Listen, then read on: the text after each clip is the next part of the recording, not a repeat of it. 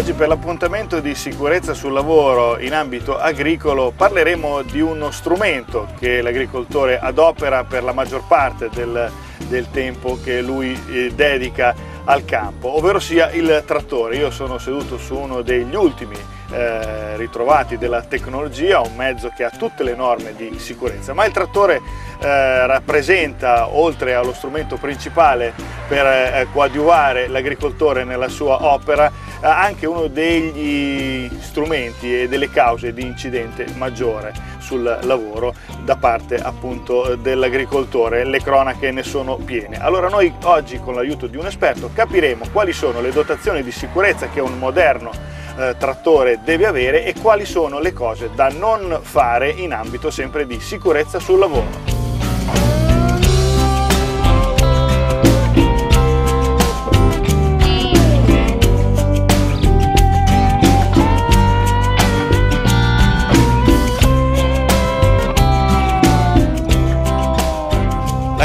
L'agricoltore adopera il trattore come mezzo principale, tra i mezzi principali per espletare la sua attività nei campi e da sempre rappresenta forse uno degli strumenti di lavoro che causano il maggior numero di eh, infortuni sul lavoro.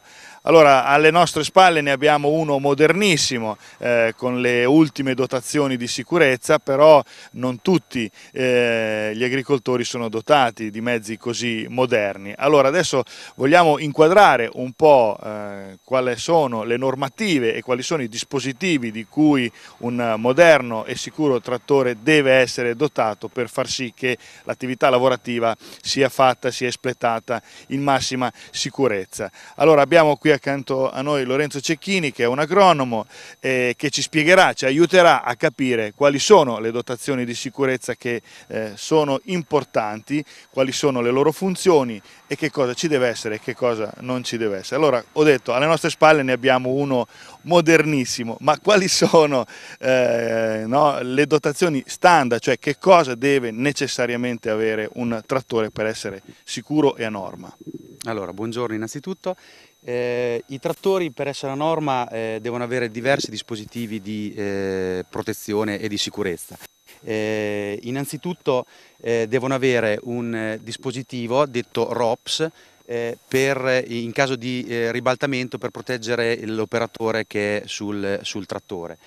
devono avere una, un, un dispositivo che copra le parti in movimento e le parti che producono calore, per esempio la marmitta per evitare scottature.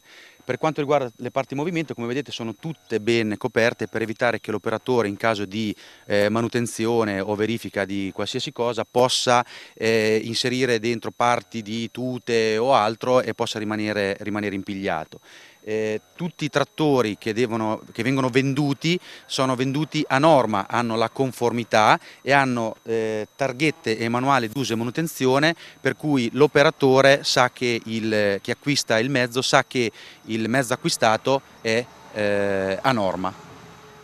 Ecco, eh, ci sono delle condizioni eh, favorenti l'utilizzo di alcune dotazioni e altre no, cioè si può fare a meno di alcune dotazioni di sicurezza o necessitano tutte eh, la loro presenza eh, sul mezzo, eh, insomma, sul trattore? Assolutamente, non ci sono opzioni di serie A, di sicurezza di serie B. Eh, prima nel, precedentemente ho dimenticato la, eh, la, cintura di sicurezza che nel sedile deve esserci comunque presente a seconda di punti d'attacco, a seconda della, della, della più o meno, eh, che il trattore sia più o meno recente, quindi adesso senza andare troppo nello specifico, eh, però tutti i dispositivi devono essere presenti. In un trattore nuovo, eh, il trattore nuovo esce già con tutti i dispositivi diciamo, presenti. Il problema eventualmente si pone sui trattori eh, datati, sui quali deve essere devono essere fatti gli interventi di, di manutenzione.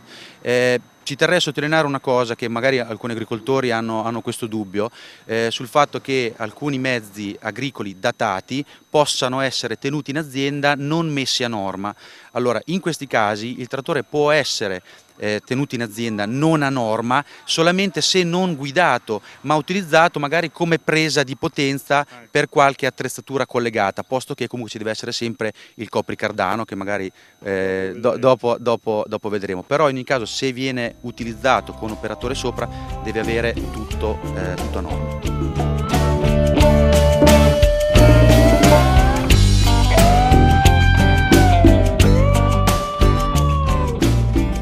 Problema per l'agricoltore si pone eh, quando eh, non ha un mezzo di recente introduzione sul mercato, quindi si ha un mezzo datato, magari che adopera da tanto tempo, che va ancora giustamente molto bene, però non è eh, a norma con tutte le dotazioni. Quindi chi ha trattori che appartengono a questa classe, a questa categoria, che cosa deve fare? Li, li deve mettere a norma comunque. Assolutamente sì, eh, è necessario andare in officine autorizzate che possano mettere a norma il trattore. Eh, a dire il vero l'INAIL ha emesso, l'ISPES, comunque adesso l'INAIL ha emesso delle linee guida in cui eh, dettagliatamente descrive come mettere a norma i trattori e se un agricoltore ha un'officina attrezzata in, in azienda potrebbe lui stesso, eh, diciamo tramite un'autocertificazione, mettere eh, a norma il trattore.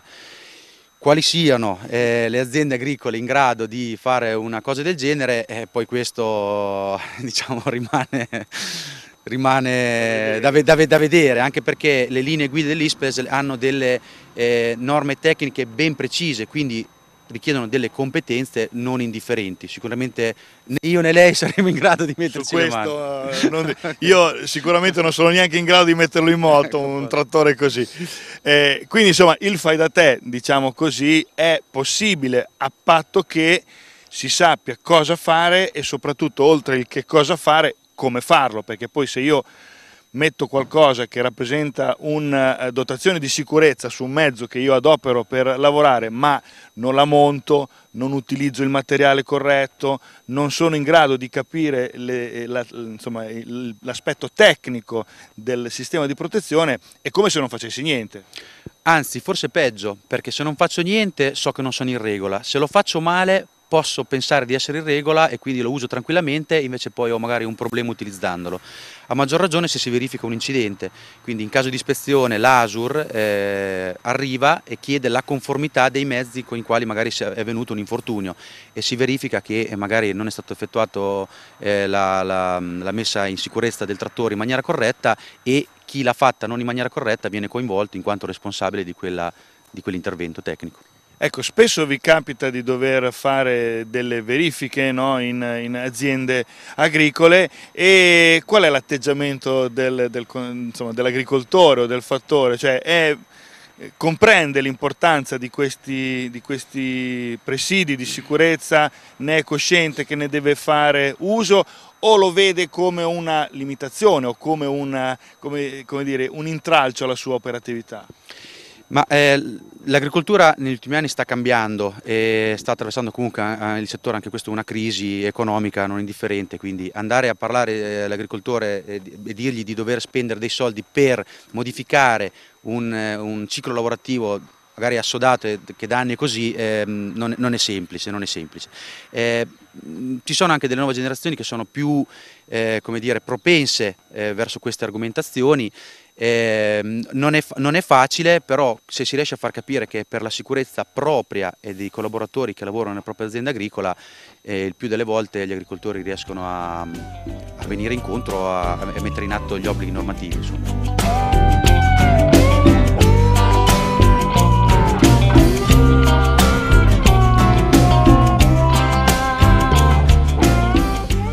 Norme di sicurezza di cui un trattore deve essere dotato non eh, sono necessarie esclusivamente eh, per la protezione dei, insomma, degli operatori e per la loro sicurezza, sono necessarie anche in caso di compravendita di questi mezzi perché come tutte le macchine anche i trattori sono soggetti a eh, compravendita di usato anche tra privati, non è necessario andare da un rivenditore di mezzi nuovi e dare in permut, si possono vendere anche tra, tra privati. Allora le norme di sicurezza devono essere un punto cardine della compravendita. Assolutamente sì, anche in questo caso il, eh, non è possibile vendere una macchina non a norma, questo deve essere assolutamente chiaro.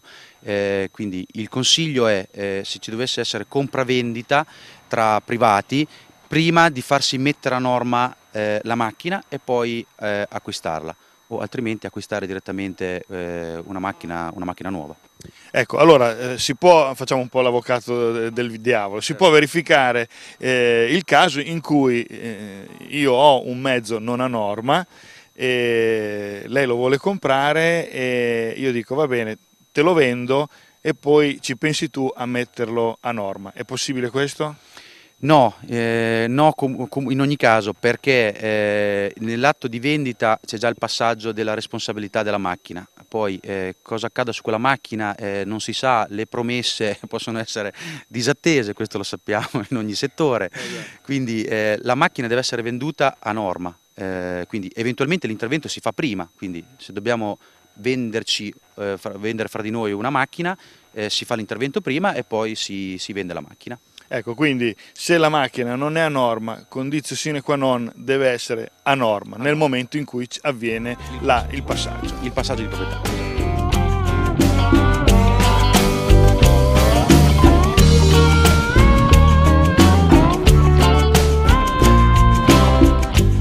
Parlando degli elementi che rappresentano eh, il massimo della pericolosità eh, su un eh, mezzo di questo genere, prima abbiamo parlato del tettuccio, così, no? detto in termini volgari, che rappresenta la protezione di colui che sta all'interno del, del mezzo. Però esternamente ci sono altri eh, punti in cui il tasso di pericolosità è ai massimi livelli. Qui a fianco a noi ne abbiamo uno che rappresenta forse il top della categoria in termini di rischio. Che cos'è e a che cosa serve?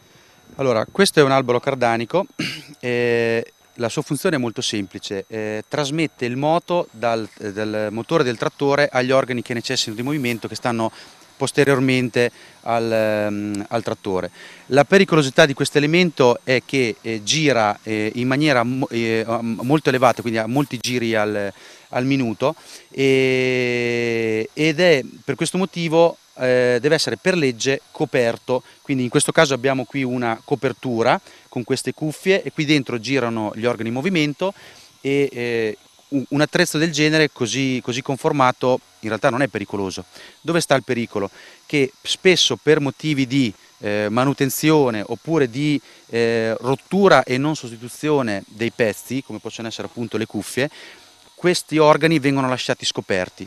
Eh, per legge tutti gli organi in movimento delle macchine devono essere coperti perché accidentalmente ci si possono eh, andare mani, parti di corpo, ma semplicemente indumenti, quindi basta semplicemente pensare banalmente con un indumento, una, una, una manica di una, di una camicia o di una giacca che può incastrarsi lì e automaticamente si viene come dire, quasi risucchiati da, da, questa cosa che non si fermerà finché eh, non avrà fatto dei danni anche molto, molto seri.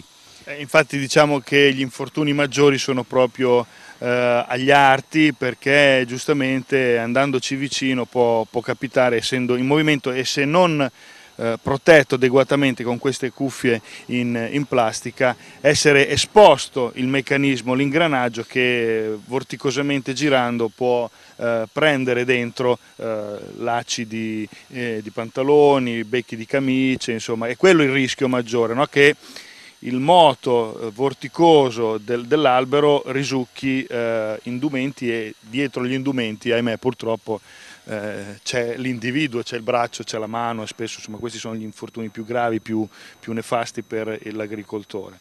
Ma eh, un'altra cosa è importante per capire il perché è un pericolo.